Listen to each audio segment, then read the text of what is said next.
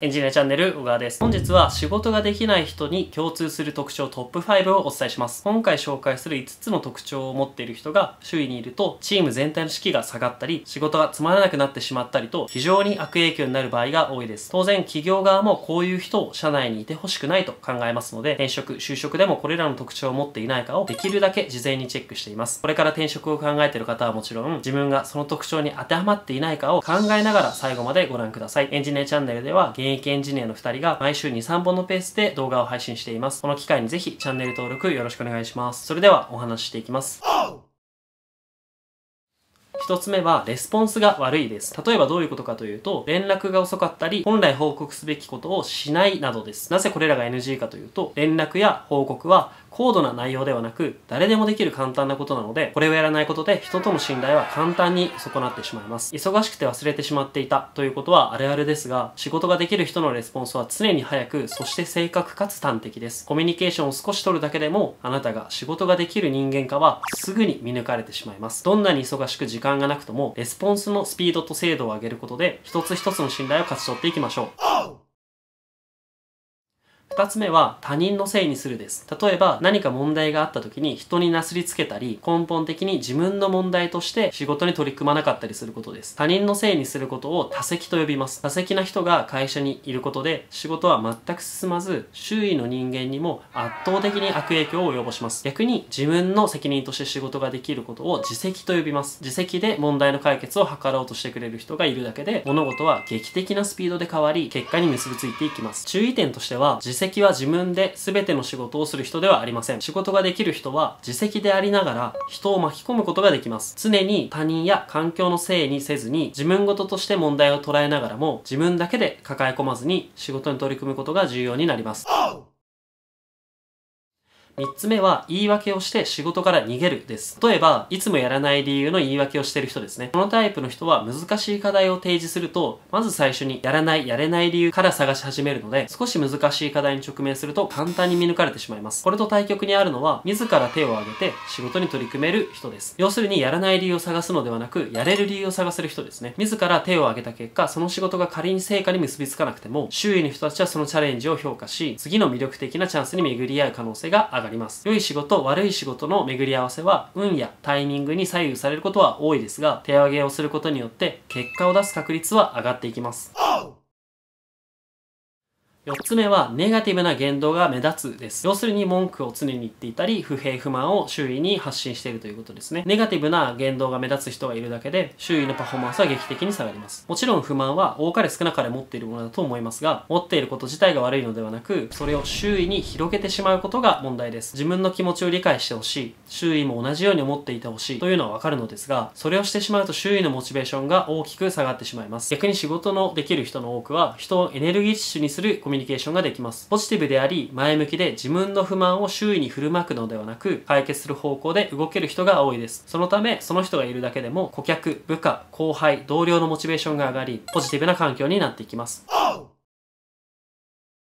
5つ目は知識や方法論を気にしすぎるです。どうしても仕事をしていると過去の前例に沿ったことが多くなってしまう傾向にあります。本来は過去と全く同じことはないので柔軟に考えることが必要になりますが理想やゼロから考えることは非常に難易度が高いため知識、経験、方法論に縛られてしまうことがあります。これらに縛られ続けてしまうとバイアスがかかってしまい価値を生み出すことが難しくなります。特に新しい価値を生み出している方々と仕事をしてみるとゼロベースで物事を捉え理想を追求しつつ過去の経験や方法論をうまく使って実現できる方が多いです。これは少し余談になりますが、今後知識、経験の価値は相対的に下がっていくと考えます。なぜかというと、Google や SNS から誰でも簡単に情報にアクセスすることができ、YouTube や動画教材などで分かりやすく理解ができるようになっているからです。そのため、今後より一層知識、経験にとらわれないことが重要になると思います。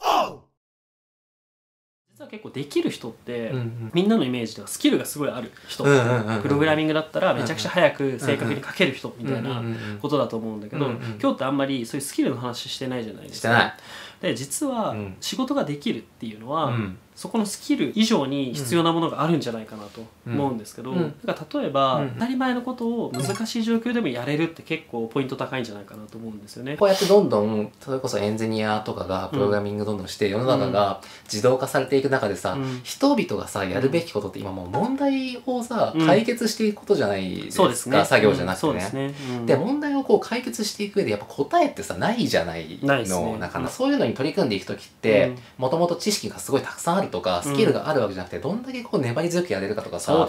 諦めずに絶対解いてやろうっていう気持ちみたいなところがうん。やっぱ重要なのかなっていう。2つあるかなと思ったのが、うん対自分に対しての集中をしていくポイントと、対人に対しての集中していくポイントの2つがあるかなと思ってて、基本はまず対自分でいいと思うんだよね。さっき足間君が言ってた、どうやってやって解かなきゃいけない問題を見つけて、その問題にどれだけぶっ込んで時間を使っていけるかみたいな、でそこに対してどれだけ集中していけるかっていう話が、うん対自分に対しての今後やっていかなきゃいけないことだと思います、ん。でとはいえそれをやりやすくしていくために人と一緒に仕事をしなきゃいけないっていうことはありますと、うん。はいはいでその人と仕事をする上で、うん。俺が思う一番大事なポイントはやっぱ信頼関係をどれだけ持っているかっていうことはすげえ重要だなと思ってます、うんうんうんで信頼持ってると仕事ってめっちゃやりやすいんですよね、うんうんこの人が言うと嫌だけどこの人が言ったら別にやってもくれるっていわゆるこうずるい関係性を作れるというか人と人だからそういうのってあるじゃないですか、うん。じゃあその信頼関係作る時ってどうしたらいいんですかっていうと今日話してた話を、うん。まあ、ちゃんとできると人に対してはうん。結構うまくできるようになるんじゃないかなと思うんだよね。レスポンスちゃんと早くしていくとか人のせいにしないとか悪口言わないとか、そういう人たちっていうのは絶対人を引きつけると思うんですよ、うん。人に対してって結構運が多いですっていう話ってあるじゃん。巡り合わせが悪いみたいな、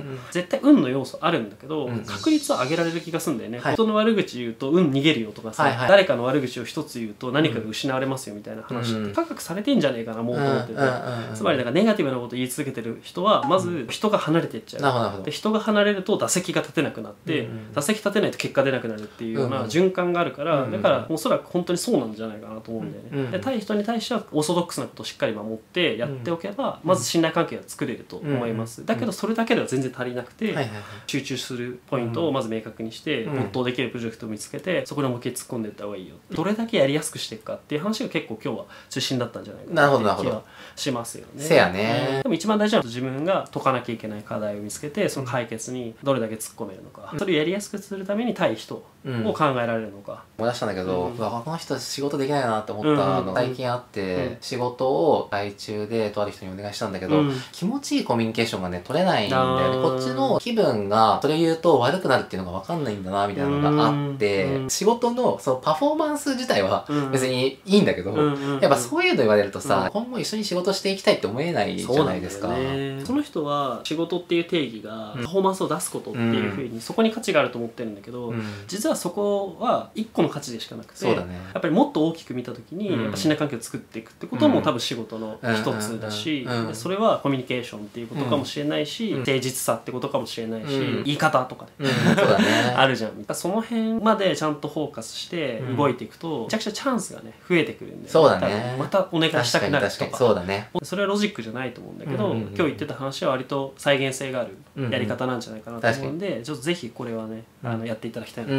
思いましたね、はい、いかがだったでしょうか？本日は仕事ができない人に共通する特徴トップ5をお伝えしました。エンジニアチャンネルでは今後も情報発信していきますのでぜひこの機会にチャンネル登録よろしくお願いします。それでは次の動画でお会いしましょう